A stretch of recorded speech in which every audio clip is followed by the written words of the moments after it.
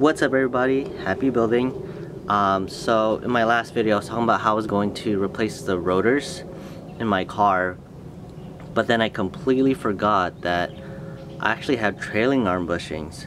So with that in mind I'm actually going to replace those in the rear and uh, replace the emergency brakes for this video and hopefully um, I could have enough time to replace the rotors um, but that might be a separate video just because um, next week is me and my girls is three years so I'm not gonna have time to fix the car.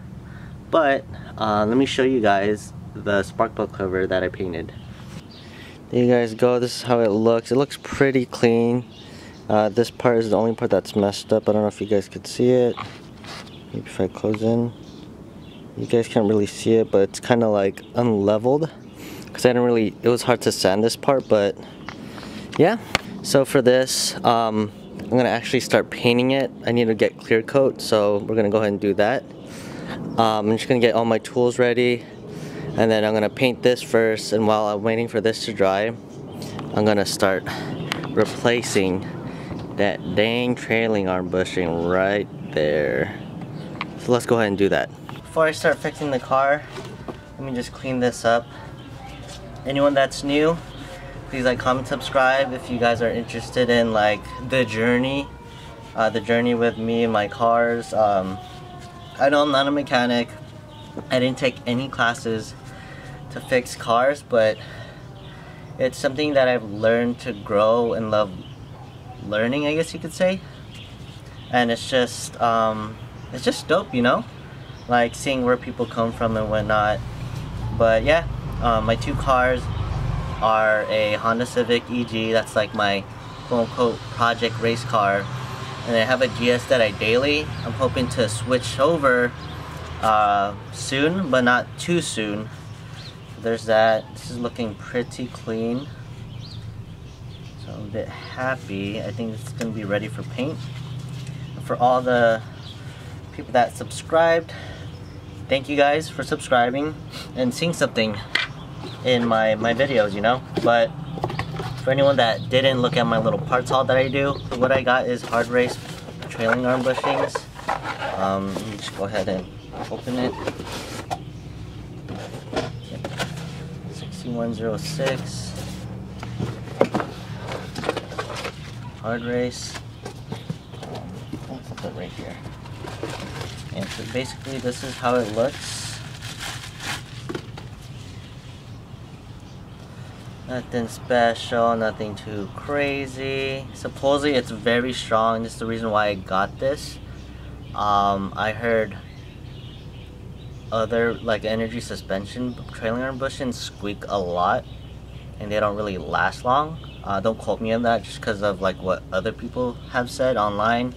There was also PCI. I was thinking about getting that, but um, I didn't want to drill into the trailing arm and whatnot and make my own holes, and I just feel like that was such a hassle, and you know, all I had to do is just hammer the trailing arm bushings out, install these, and should be good.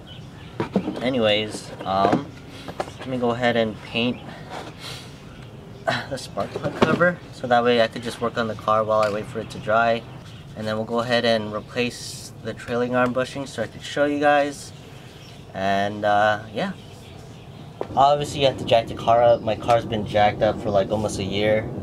As you can see it's freaking dirty. But hopefully that's gonna change. Um, first things first though is you're supposed to remove the e-brakes. Um, I'm just gonna partially remove it and then fix the bushings.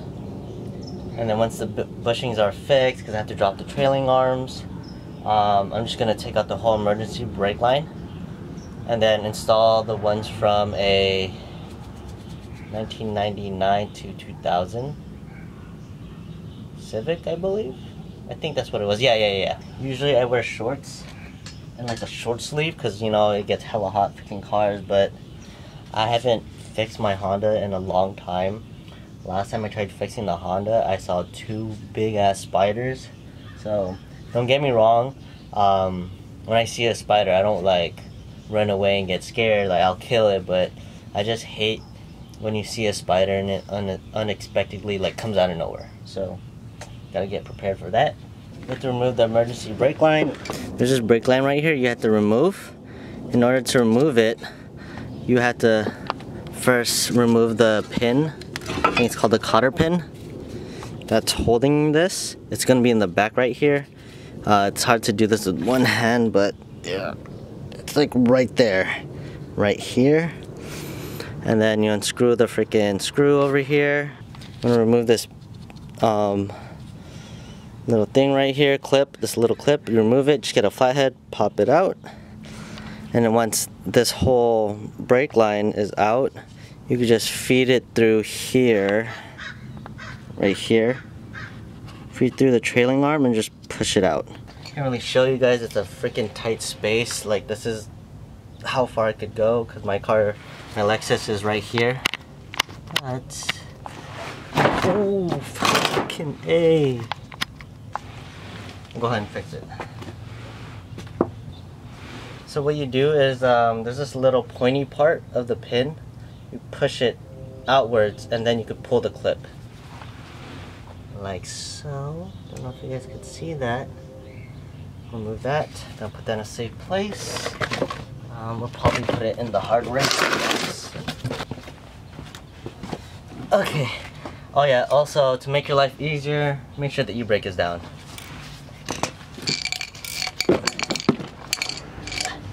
So you don't actually screw uh, the emergency brake line, you push it up. Do first is you want to get like your screwdriver or something like thick enough to uh, push the thing up. Sorry, it's kind of hard to push it up like that. And once there's like some opening right here, you just pop it out. Uh, I'm gonna have to put you guys down for this, but generally that's how you do it.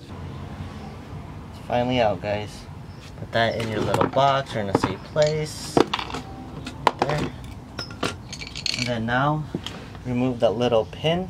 What I like to do is just get a flathead and just push it out. That's removed. So it's finally out. As you guys can see right here, hopefully. And then all you have to do is just get it outwards like that and then just push that little grommet in. It's gonna be hard, but you should be able to do it. Anyways, I don't know if you guys could see that. You see that little rubber stuff right there? That is freaking cult, guys. This is something that you do not want to do. And my dumbass did that, so that's why I'm gonna fix it the right way. I'm gonna start from the beginning of the car all the way towards the end.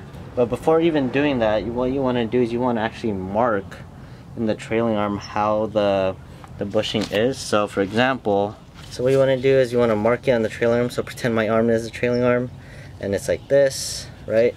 What you want to do is you want to be able to mark it, uh, mark it straight so that way you don't forget um, the position of the trailing arm and how it originally is.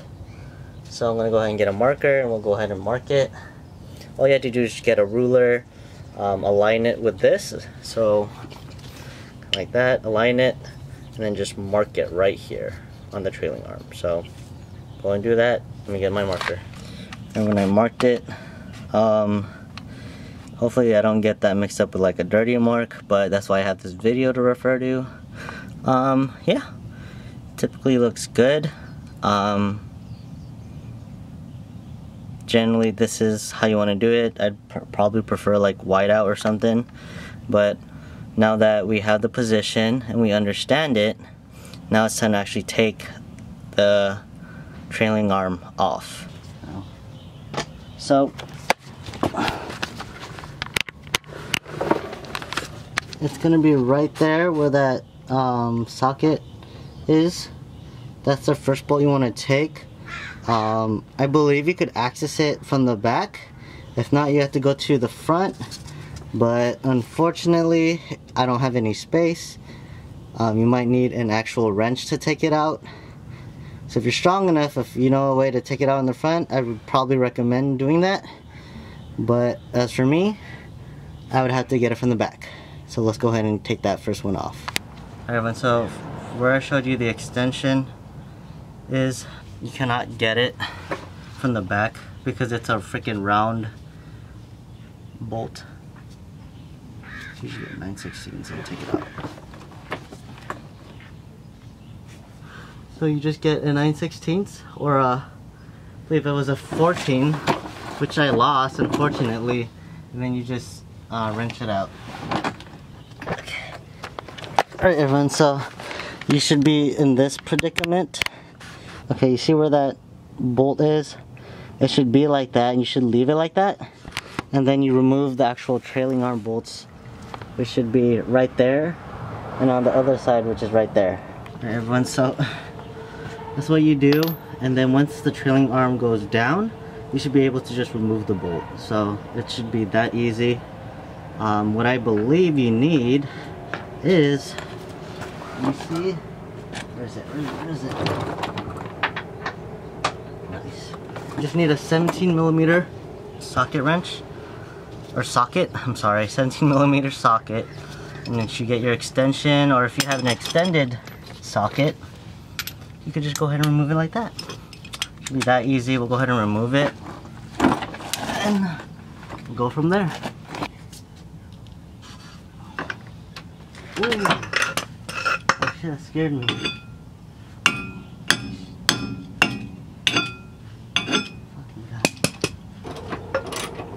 God damn.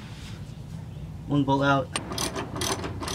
We had to take out that bolt and this bolt.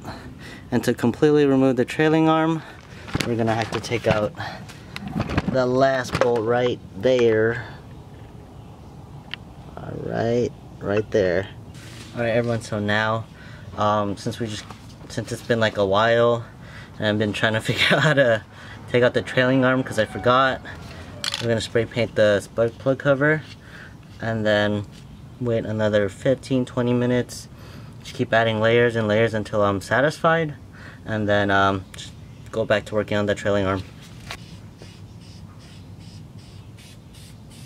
So what I'm to do is I'm to loosen the bottom bolt first. I'm not to take it out all the way. And then I'm to remove the top bolts that I showed you guys next. And then remove the last bolt just so um, I could just easily remove the bottom bolt. So that way um, it'll be easier for me to control the movement of the trailing arm as I take it down.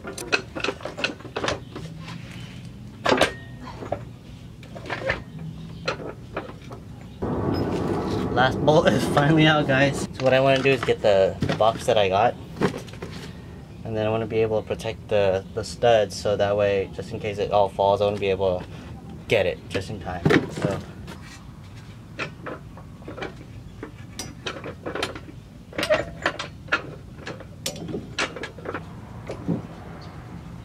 Alright everyone's finally off, protected by the box. I am using a 12 millimeter to remove the emergency brakes right here. So that way, I could just install the emergency brake lines from that 99 2000. And if you guys are wondering, you guys are wondering why uh, replace the emergency brake lines is because it is rear disc as you guys can see.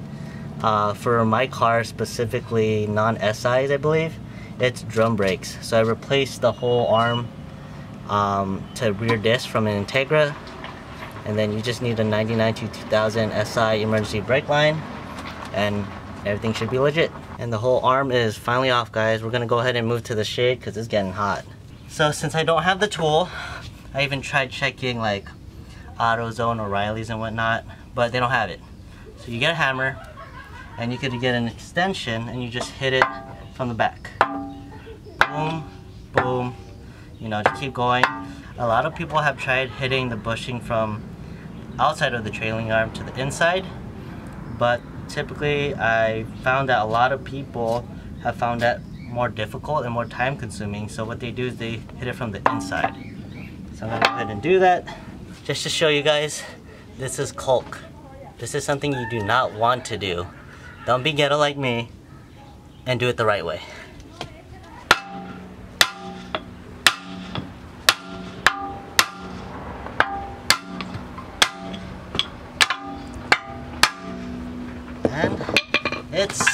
Removed. Hell yeah. Okay, so remember guys, it's different on both sides, right? You don't want to install it like this, going this way, you want the longer side towards the inside of the trailing arm, right? So it's gonna be like this, like that. Not, not like this where the short side is in the inside. You want the long side, like this. And then that line we made, we're gonna make sure it aligns with this part. So go ahead and reinstall it, just hammer it back in. And I'll check back in with you guys. But before installing, I'm gonna actually clean the inside with like brake cleaner or something like that. Alright guys, so I got it in. Um, it was a bitch. Let me show you guys the front. So here's the trailing arm, this is how it looks. Um, it's all beat up. How I know it is perfectly fine like that is uh, looking at the old trailing arm. It was positioned literally the top part towards the inside part right here. So it's like a rough estimate. You want to make sure everything's perfect. But I got it in guys. Um, it was hard. But like I said, you got to make sure it's aligned how it was before. So making sure it's cocked a little bit.